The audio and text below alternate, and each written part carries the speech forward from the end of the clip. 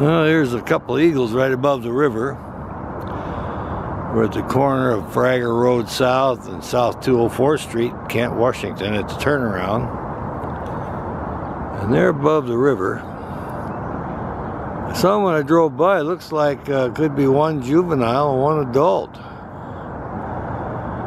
There's a pair of adults usually hang out together here, but I don't know what the deal is with the juvenile, unless it's one of their offspring that's visiting or whatever. Try to figure that out. We see some strange things, but anyway,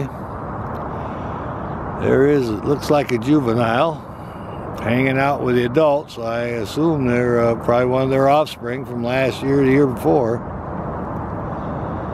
And I've been looking around for the other adult, but I haven't seen him yet. Yeah, that's exactly what it appears to be. I'll zoom in a little more on the juvenile here. Oh yeah, there we go. Yep, that's the case, I guess.